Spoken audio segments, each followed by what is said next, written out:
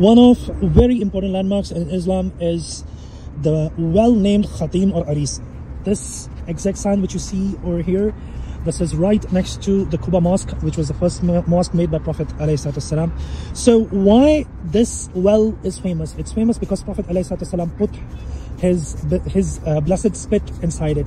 He also used to sit around this area uh, with the companions of Prophet ﷺ uh, in, in those days. And also the the, uh, series of 10 blessed Muslims which were guaranteed paradise Jannah in the life of Prophet ﷺ started from this exact area as well. Also, uh, the seal of Prophet ﷺ, which used to be with Usman, uh, Usman bin Affan anhu, which is one of the important caliphates of Islam, um, he lost it in this well and it was never found.